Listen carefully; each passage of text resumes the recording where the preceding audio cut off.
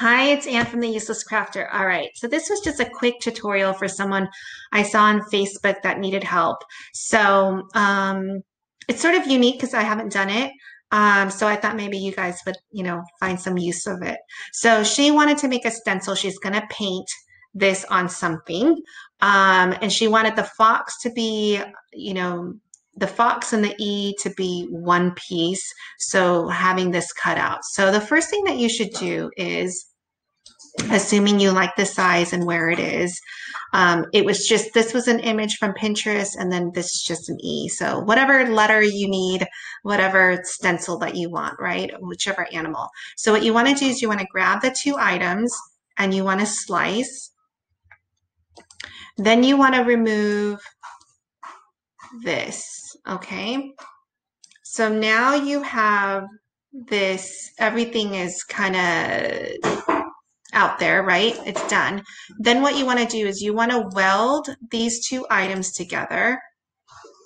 Um, and I think we're still okay. Then what you want to do is you want to bring in a square because you want a stencil, right? So basically wherever the black is, that's actually where you want to paint it.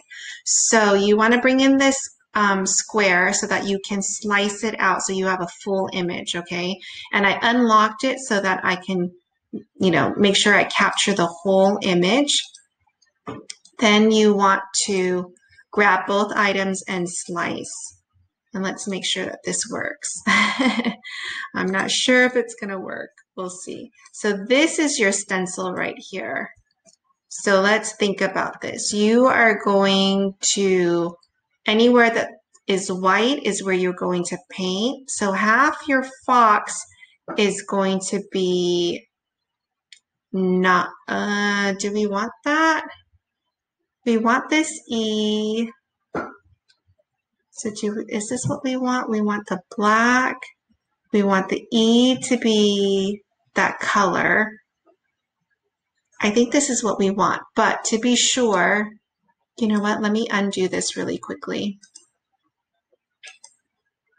Okay, so basically what we will have is this.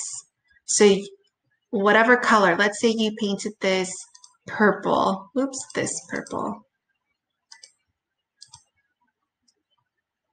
Is this what you want? I don't know. So your E is going to be painted in, half your fox is going to be painted in. It's This is what it's going to look like painted.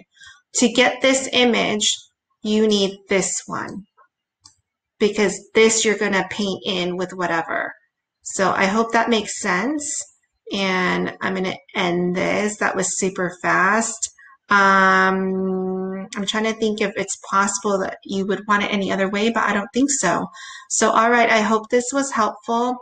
I will see you next time, guys. So, yeah, just send me an email, post a comment if you have a question on your particular project. All right, thanks, guys.